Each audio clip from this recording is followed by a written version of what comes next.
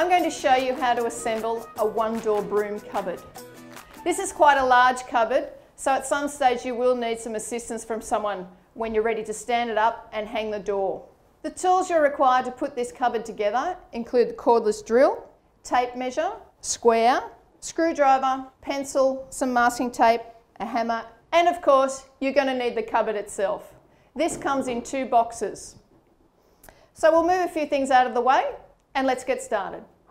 This cupboard is put together using cam locks and pins. Everything has been pre-drilled for you to make it easy to put together.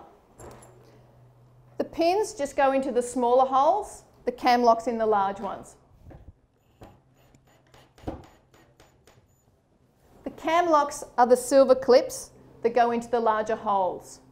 You'll notice that on the edge of it is a little arrow. This arrow must always go to the outside of the piece because that will locate with the pin on the other pieces.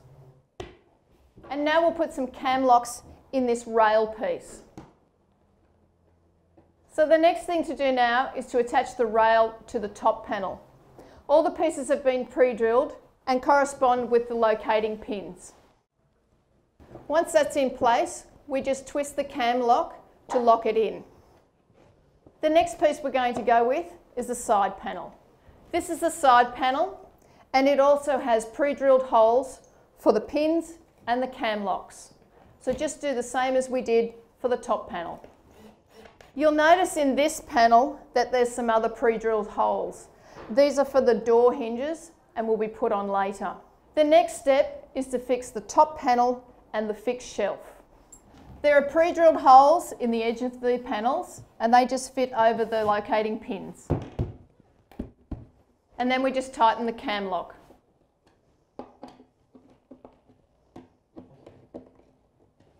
You'll notice there's a lot of pre-drilled holes in the fixed shelf.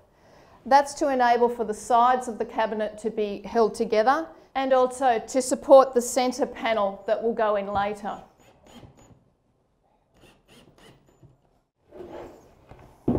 This panel now slips over the pins that are in the side panel and then just lock the cams off as before.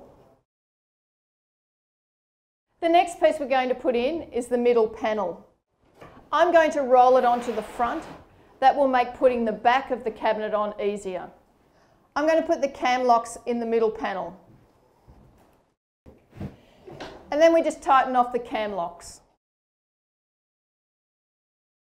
Now we're ready for the next side panel. I'll just rest it on top here and put my pins and cam locks in.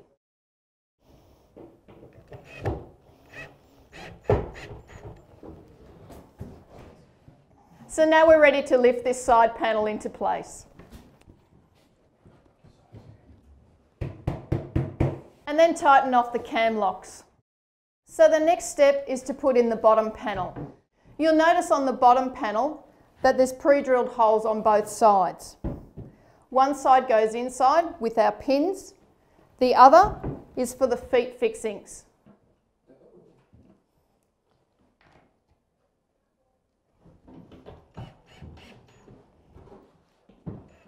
So we're now ready to put the bottom panel on.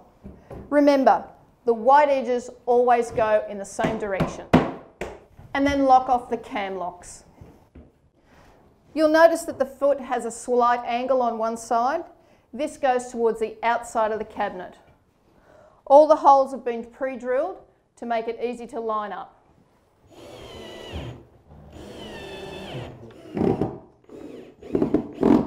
The next step is to put the adjustable feet in place and adjust them to the height.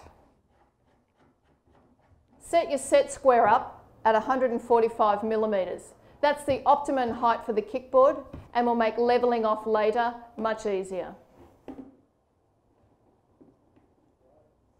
Now that we've got all the feet in place, we can put the back on. So now we're ready to put the back panel on. There's two colours to this. Always make sure that the white goes inside so that when you open the doors, all you see is white. We just lay the panel in and then we're going to nail into the rebate.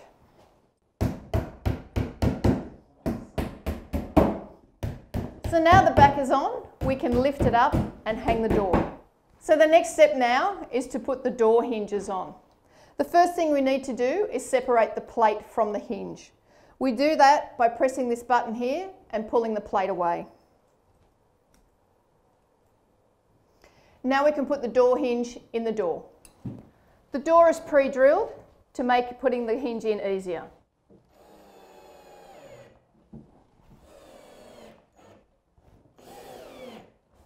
The next step is to put the hinge plates on the cabinet. You'll notice on this cabinet that there's pre-drill holes on either side. That's for the hinge plates. You can hang your door that it opens to the left or the right. We're going to hang our hinges on this side.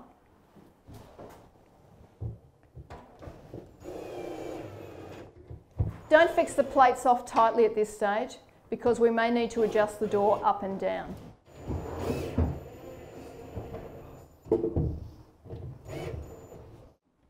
The next step we're up to is hanging the door. You might find this a little bit tricky by yourself, so it might be a good idea to get someone to give you a hand.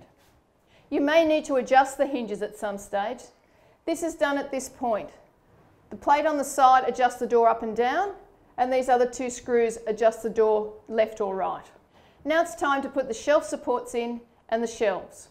The shelf supports are little pins that have corresponding holes drilled in the sides of the cabinets. These just push in and then the shelves can sit on top. And then the shelf just simply slides in and rests on top of the pins.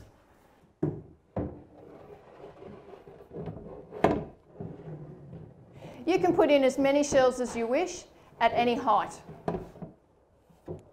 And now we'll put the handle on the door. The measurements for the door handles are on the instructions.